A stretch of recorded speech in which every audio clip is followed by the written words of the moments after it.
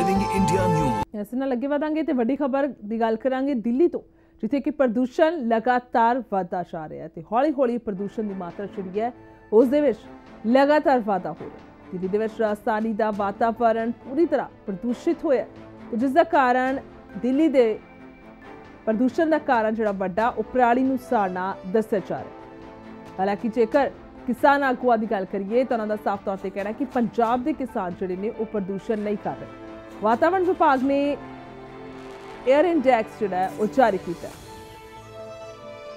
ਪ੍ਰਦੂਸ਼ਣ ਦਾ ਗ੍ਰਾਫ ਹੱਦ ਤੋਂ ਜ਼ਿਆਦਾ ਜ਼ਹਿਰੀਲਾ ਹੋ ਚੁੱਕਿਆ ਹੈ ਕਿ ਸਾਹ ਲੈਣਾ ਵੀ ਮੁਸ਼ਕਿਲ ਹੋਇਆ ਪਿਆ ਤੇ ਲੋਕ ਸਾਹ ਲੈਣ ਦੇ ਵਿੱਚ ਪਰੇਸ਼ਾਨੀ ਮਹਿਸੂਸ ਕਰ ਰਹੇ ਤੇ ਬਿਮਾਰੀਆਂ ਜਿਹੜੀਆਂ ਨੇ, ਉਹਨਾਂ ਨੂੰ ਸੱਦਾ ਦਿੱਤਾ ਜਾ ਰਿਹਾ ਸਿੱਧੇ ਤੌਰ ਤੇ ਇਸ ਪ੍ਰਦੂਸ਼ਣ ਦੇ ਰਾਹੀਂ। ਧੁੰਦ ਨਹੀਂ ਪ੍ਰਦੂਸ਼ਣ ਦੀ ਚਾਦਰ ਨੇ ਰਾਜਧਾਨੀ ਟਕੀ ਹੋਈ ਹੈ। ਸੋ ਜਿੱਥੇ ਸਰਦੀ ਦਾ ਮੌਸਮ ਸ਼ੁਰੂ ਹੋ ਚੁੱਕਿਆ ਹੈ ਉੱਥੇ ਜਿੱਥੇ ਧੁੰਦ ਪੈ ਰਹੀ ਹੈ, ਬਾਕੀ ਇਲਾਕਿਆਂ ਦੇ ਵਿੱਚ। ਤੇ ਉੱਥੇ ਹੀ ਦਿੱਲੀ ਦੀ ਗੱਲ ਕਰੀਏ ਤਾਂ ਇੱਥੇ ਜ਼ਹਿਰੀਲੀ ਚਾਦਰ ਜਿਹੜੀ ਹੈ ਉਸ ਨੇ ਦਿੱਲੀ ਨੂੰ ਆਪਣੀ ਪੂਰੀ ਚਪੇਟ ਵਿੱਚ ਲਿਆ ਹੋਇਆ। ਇਹ ਧੁੰਦ ਨਹੀਂ, ਬਲਕਿ ਜ਼ਹਿਰੀਲੀ ਚਾਦਰ। ਕਿਉਂਕਿ ਉਂਝ ਵੀ ਗੱਲ ਕਰੀਏ ਤਾਂ ਦਿੱਲੀ ਦਾ ਖੁਦ ਦਾ ਆਪਣਾ ਪ੍ਰਦੂਸ਼ਣ ਜਿਹੜਾ ਹਮੇਸ਼ਾ ਤੋਂ ਹੀ ਸਿਖਰਲੇ ਪੱਧਰ ਤੇ ਰਹਿੰਦਾ। ਹੈ। ਬੇਸ਼ੱਕ ਉਹ ਟ੍ਰੈਫਿਕ ਦੀ ਗੱਲ ਕਰੀਏ ਜਾਂ ਫਿਰ ਕਿਸੇ ਪਾਸੇ ਵੀ।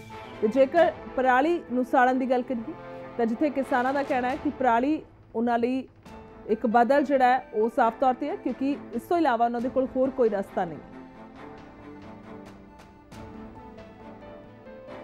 ਤੇ ਫਿਲਹਾਲ ਇਸ ਵੱਡੀ ਖਬਰ ਦੇ ਨਾਲ 8 ਵਜੇ ਪੰਜਾਬ ਦੇ ਵਿੱਚ ਨਹੀਂ ਦਿਓ ਇਜਾਜ਼ਤ। ਧੰਨਵਾਦ।